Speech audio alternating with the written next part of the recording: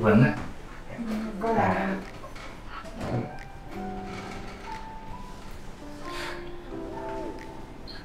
mình đặt cái sống mũi bao nhiêu lâu vậy Dạ được hai năm Ừ. hay là hiện nay cái kỳ vọng cái kỳ vọng này làm sao?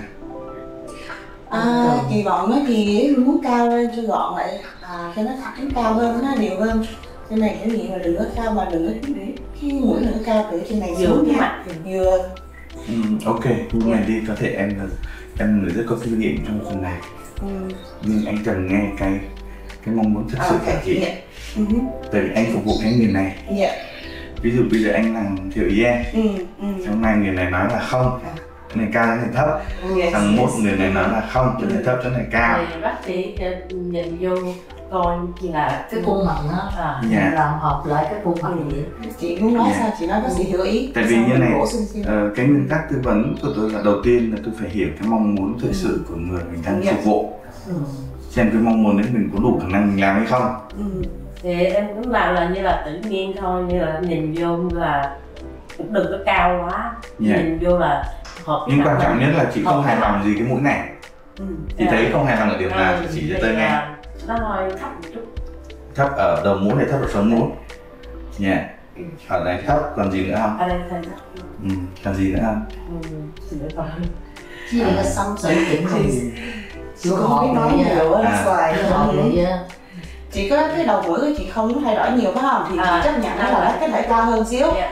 nhưng mà đừng thay đổi cái đầu mũi hay nhiều คือ chị bây giờ tôi sẽ đưa lên máy Ừ. tôi dựng hình cho chị Oh, that's good. à nếu chỗ này nó cao hơn thì kết Ừ. quả nó như thế nào Ừ, để xem cái hình ảnh mà mình làm nó có đúng như mình hình dung hay không Ừ.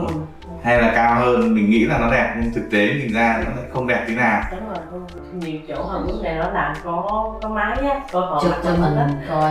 Dạ. Coi trong máy á. Đúng rồi. Ừ. tuy nhiên chị phải nhớ là nếu mà cái bác sĩ phẫu thuật người ta dựng hình mới là chính xác. Ừ. còn cái người tư vấn người ta dựng hình thì chỉ làm cho chị hài lòng để chị đóng tiền để đi làm dịch vụ thôi. Còn cái người tư vấn đó người ta không phải là bác sĩ phẫu thuật người ta không biết được cái giới hạn của câu chuyện nó đến đâu tại vì giữa phẫu thuật vẽ với phẫu thuật thực tế nó khác nhau một trời một vực luôn.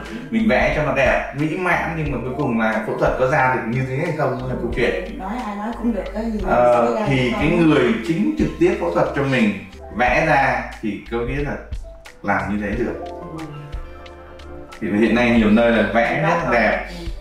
Ờ, phân tích rất là đẹp nhưng mà cái chuyện nó ra được như vậy hay không nó có bền hay không? Ừ. ví dụ như trong trường hợp này của chị chị muốn cái này nó cao hơn một chút cần chỉ rõ cái điểm nào cao tôi sẽ dựng hình cho chị xem. Thì ơi cái smooth chút À. xíu nó thôi đó. Khi mới chỉnh ra bây giờ chỉ muốn À, cao thì bao nhiêu mà chị nhìn thấy Nó có chị cái chỉnh đi. À. như này là đồng ý chị chưa? Thì à, bác nhìn vô thì tự nhiên cái nào vừa tự cái nào để có thì mình không phù hợp cái mặt cái khuôn mặt đó không thì tôi đang hỏi rằng cái mong muốn đúng như chị đang muốn như này chưa Ừ. Cao là thay cái sợi lên mà đây before. Rồi after. À hơn nguyện vọng của chị là chỉ thay đổi cái phần sống mũi ở đây. Ừ. thì chúng ta chỉ chỉnh ở trên này. Ừ.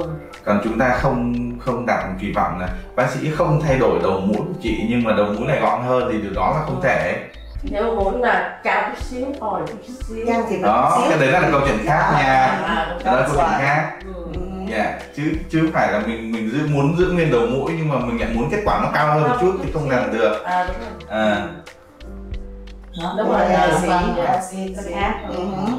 Otherwise it will be different. như này gì như này là chị ưng rồi đúng không Ừ. Hay là chị muốn nhìn thêm mấy khía cạnh khác nữa không? Tại sao mua cho cho option Tại vì cái chị bây giờ với là- cái mong muốn của chị như thế này thì bác sĩ chắc chắn sẽ làm được và kết quả này sẽ bền vững ừ. còn nếu chị muốn cao hơn một chút so với cái thiết kế này ngay sau mổ chị sẽ hài lòng nhưng một năm sau nó sẽ không còn giữ kết quả đấy nữa Ừ. tại vì khi mình làm cao quá cái sức ép cái sức căng của da Ừ. nó ép ngược lại nó làm cho cái đầu mũi nó cụp xuống được chưa ừ. yeah. như vậy thống nhất đây là cái kết quả sẽ làm nha Ừ. chị muốn làm bằng sụn tai sụn sườn là tùy chị như vậy cái cách là bây giờ mình sẽ bỏ cái sống mũi này ra hiện nay chắc là sống mũi silicone Ừ. mình sẽ thay bằng sống mũi mới và không dùng silicone nữa được chưa Ừ. ở đây mình sẽ dùng sụn tai để mình dựng trụ ở đây và cái trung bình mỡ mình sẽ đệm cái đầu mũi này cho nó mềm và nó tròn Ừ. ok chưa Dạ. ừ. cái này nha Can you see before and after? ừ. Did you see the before and after? Bác sĩ Châu. Before and after. này cái này đang nó đang thấp mình cao lên một chút Đúng. cái đầu mũi nó đang thấp mình cao lên cao một chút Ừ. cái đó là kéo bằng đó Đó là mày làm lên là hết rồi. Rồi, dạ, Ok. dạ. không ra tôi phải làm như Cái này này là tin tưởng thì giới thiệu em nên để cho bác làm. Dạ. Mẹ cũng làm đây, rồi cô Hạnh cũng làm đây, em gái cũng làm đây thì mình cũng biết mình cái giới thiệu ở đây thôi. làm không rồi chị bạn- này được rồi làm ok tại vì má ra thì cũng dắt khi nào muốn làm đăng ký lịch với cô này